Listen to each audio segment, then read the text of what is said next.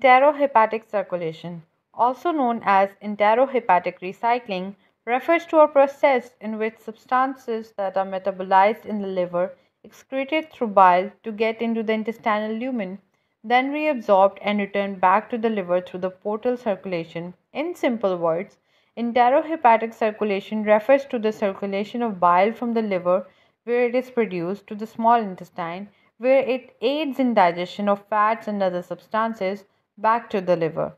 Enterohepatic circulation is an especially important concept in the field of toxicology as many lipophilic xenobiotics undergo this process causing repeated liver damage. Enterohepatic circulation of drugs describes the process by which drugs are conjugated to glucuronic acid in the liver, excreted into bile, metabolized back into the free drug by intestinal bacteria, and the drug is then reabsorbed into plasma.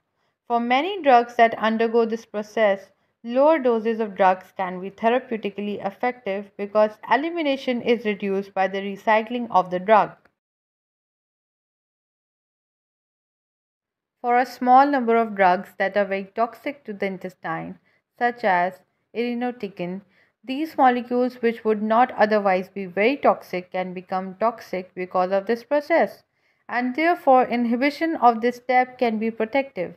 In the other hand, the majority of drugs which undergo enterohepatic circulation that are not toxic to the intestine, inhibition of this process leads to a reduction of the levels of drug and reduced therapeutic effect. Number of drugs are secreted by the liver into bile and are therefore capable of undergoing enterohepatic recycling.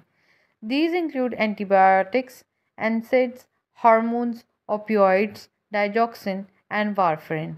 Not only drugs but endogenous substrates like bilirubin, steroidal hormones, and thyroxine utilize this pathway. Thank you viewers for watching this video. I hope you find it informative but if you still have any kind of queries you can write them down in the comment section below. Keep watching Pharmacy D by Asim and also we have given the links to our different social media accounts in the description below. Go and follow us there as well for more informative stuff.